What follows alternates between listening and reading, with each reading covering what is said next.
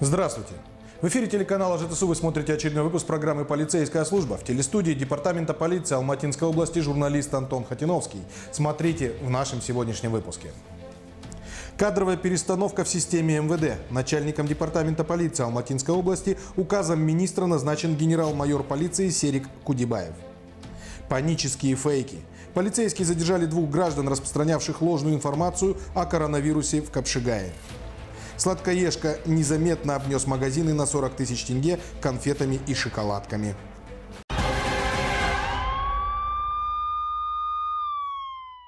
А теперь об этом и другом более подробнее. Безусловно, самая главная новость для стражей порядка – это назначение нового руководителя Департамента полиции Алматинской области. Им стал генерал-майор полиции Серик Кудибаев, который ранее являлся руководителем аналогичного ведомства в городе Алматы. Нового начальника департамента полиции личному составу представил министр внутренних дел Ерлан Тургумбаев. Эту должность Серик Мирзакулович Кудибаев получил по согласованию с администрацией президента и Акимом области. Согласно данным из открытых источников, Серику Кудибаеву 55 лет. Он родился в селе Чиен Жамбылского района Алматинской области. В 1990 году окончил Карагандинскую высшую школу МВД СССР. Трудовую деятельность начал оперуполномоченным в Алматинской области. С 1994 по 2000 годы занимал разные должности в полиции Жамбылского района Алматинской области. Последующие шесть лет работал в Жамбылской области. Затем снова в краю ЖТСУ, где в 2009 году был назначен первым заместителем начальника ДВТ, а затем и начальником областной полиции. В 2013 году Серика Кудибаева перевели в ДВД города Алматы.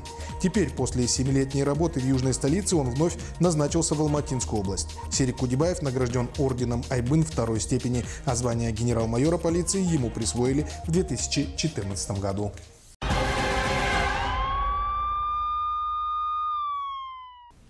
А теперь к делам криминальным, с которыми ведут борьбу стражи порядка края ЖТСУ.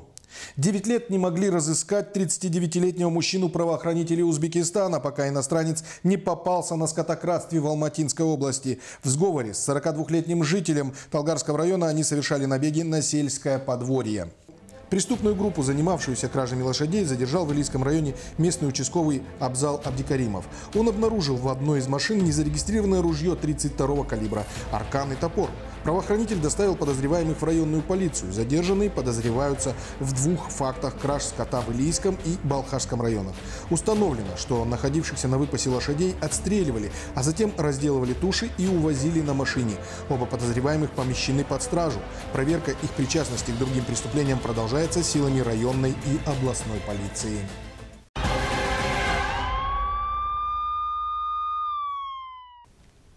Полиция возбудила уголовное расследование по факту распространения ложной информации. Это уже далеко не первый случай, когда взрослые люди выдумывают панические фейки. На этот раз они связаны с заболеванием коронавирус. 29 января в мессенджере WhatsApp неизвестные лица распространили сообщение о двух людях, поступивших с подозрением на коронавирус в больницу Капшигая. При проверке информация не подтвердилась, в связи с чем сотрудники правоохранительных органов организовали необходимые мероприятия для установления распространителей слухов. В ходе оперативно-розыскных мероприятий удалось выявить и задержать двух подозреваемых, которые были доставлены в Капшигайский городской отдел полиции. Оба работают водителями скорой помощи в местной больнице.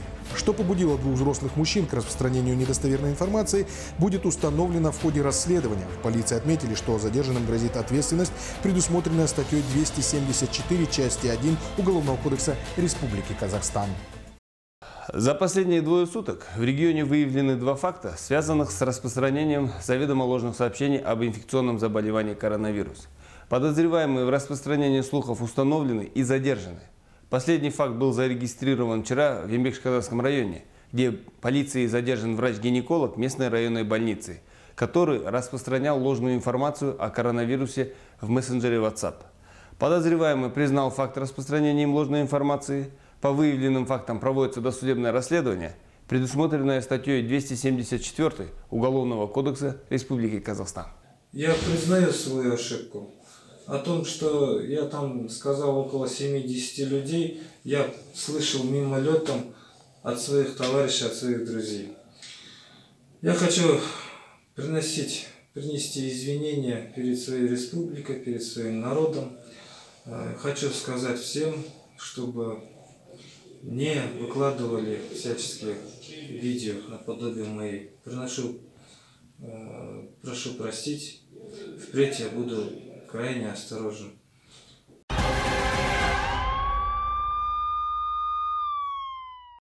33-летний мужчина подозревается в серии краж конфет и шоколада из магазинов города Есик. С декабря прошлого года в аккурат перед новогодними праздниками в полицию Инбекши-Казахского района начали поступать заявления о неоднократном хищении кондитерских изделий от владельцев четырех городских магазинов. Выяснилось, что кражи сладостей продолжались в течение месяца. По утверждению предпринимателей, вор-сладкоежка тащил с прилавка только сладкую продукцию. Общая сумма украденных конфет и шоколада составила 40 тысяч тенге.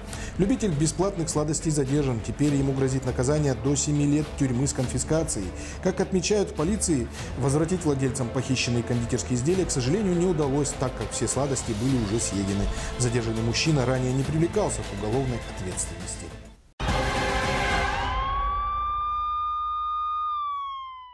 Для обеспечения безопасности на дорожных артериях работают не только мобильные полицейские наряды, но и специальные группы из отделов дорожно-технической инспекции.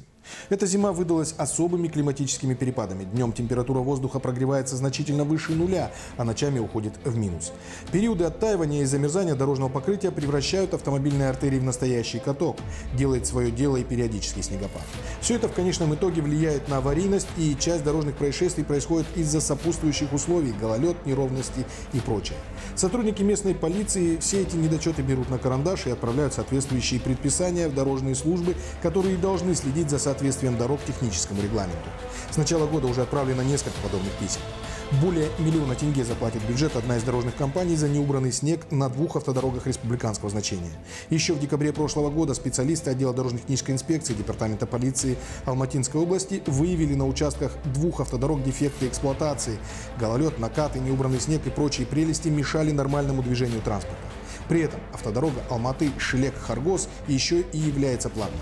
В результате ТО, ответственному за уборку, было выдано предписание устранить все безобразия в трехдневный срок, чего сделано не было. Административный материал передали в суд, который оштрафовал предприятие на 500 МРП без приостановления разрешения на деятельность.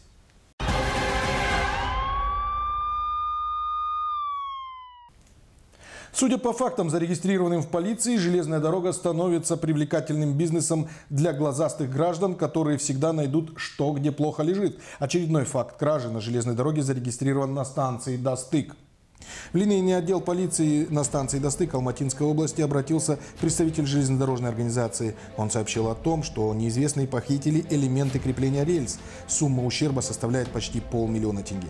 В ходе оперативно-розыскных мероприятий стражи порядка задержали 26-летнего водителя КАМАЗа. В кузове транспорта они обнаружили железнодорожные подкладки без соответствующих документов. В настоящее время по подозрению в совершении данного преступления установлена группа лиц. Проводится досудебное расследование по статье 188 Уголовного кодекса Республики Казахстан «Кража». Как отмечают полицейские, подобные преступления могут иметь страшные последствия. Повреждения элементов крепления могут привести к расширению рельсов и схождению поезда.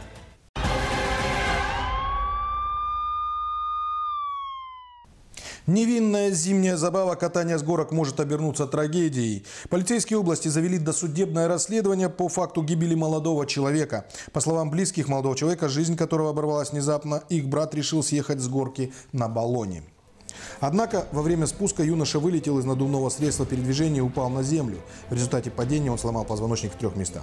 Произошел инцидент 24 января на лыжной базе недалеко от города Текели. Авторы поста сообщили также еще об одной пострадавшей, которая получила травмы аналогичным образом. Также родные погибшего отметили, что на жалобы жителей никто не реагирует, а люди продолжают травмироваться. В полиции Алматинской области сообщили, что по данному факту уже начато расследование. Также специалисты назначили ряд экспертиз, которые направлены на то, чтобы выяснить, соответствует ли предоставление товаров или услуг требованиям безопасности.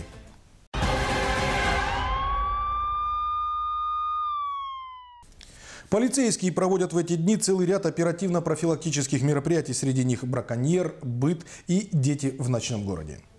Более сотни нарушений природоохранного законодательства выявили с начала месяца сотрудники отдела природоохранной полиции.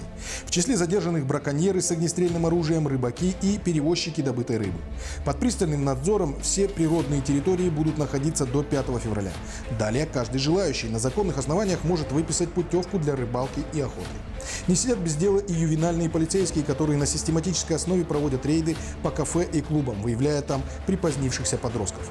Как показывает статистика, профилактика делает свое дело, и в увеселительных заведениях и компьютерных клубах несовершеннолетних не видно. Побывали полицейские и в гостях у своих подопечных.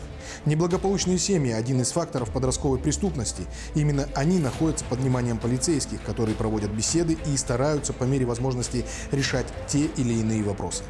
Направили на борьбу с насилием в семье свои усилия и сотрудники местной полицейской службы, которые ведут работу в сфере семейно-бытовых отношений. На сегодняшний день на учете в полиции стоят десятки семей, где живут тираны и дебоширы. Не оставайтесь равнодушными к подобным фактам и своевременно обращайтесь в полицию.